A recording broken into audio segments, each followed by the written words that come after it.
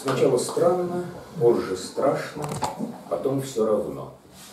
Новости, как текстовые ремарки в немом кино, вспыхивают черно-бело и уходят в нети.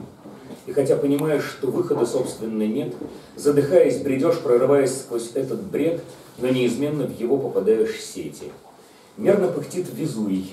Базарная площадь с утра залита солнечным светом, не лавой. В общем, еще не та ситуация, чтобы бросаться с обрыва. Жизнь продолжается, свет еще не померк. Может быть, в среду, может быть, даже в четверг, но в понедельник уже на душе тоскливо.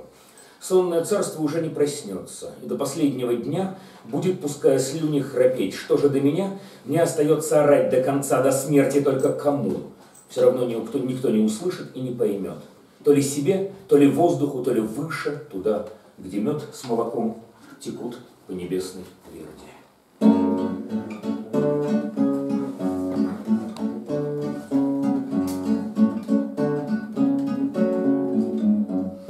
Здесь, на холмах, не знающих зари, Среди толпы несчетной и незримой здесь, На развалинах очередного Рима, Что сам себя разрушил изнутри. Здесь, На ветру, где правит кислород, Где тикает окисленное время здесь, Невозможно уследить за всеми, но обречен невидимый народ.